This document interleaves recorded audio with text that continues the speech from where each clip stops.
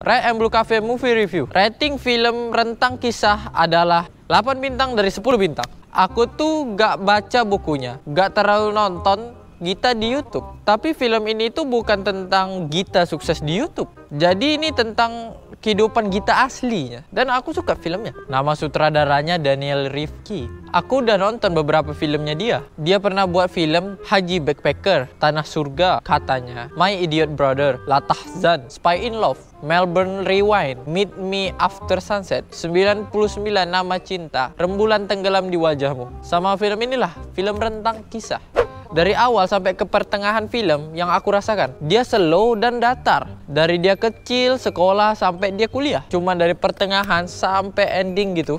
Nah itu dalam main filmnya aku juga gak sangka sih mereka mau nyampaikan pesan itu rupanya. Pesannya apa? Kalian nonton lah. Komedi di dalam film ini dapat. Semua karakter juga dapat karakter bapaknya juga dapat. Sin-sin emosinya tuh banyak kan dan itu semuanya dapat sih. Cuman yang menjadi keganjalan di aku karakter Gita ketika udah pakai jilbab. Dia jadi kayak bukan Gita tapi pas dia sebelum pakai jilbab itu mirip kayak Gita Savitri. Mungkin sekian aja review aku film rentang kisah.